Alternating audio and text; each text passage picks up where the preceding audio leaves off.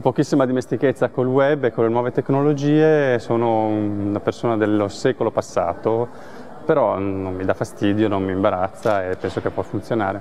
Ah, le tecnologie per me sono da, us da usare e, e è difficile non farsi usare delle tecnologie questa è la cosa più importante. C'è una simbiosi in atto e bisogna esserne consapevoli e tentare di non essere governati dalle tecnologie ma utilizzarle per quelle che ci servono. Un saluto a tutti quanti, soprattutto con questo obiettivo misterioso che mi sta fotografando.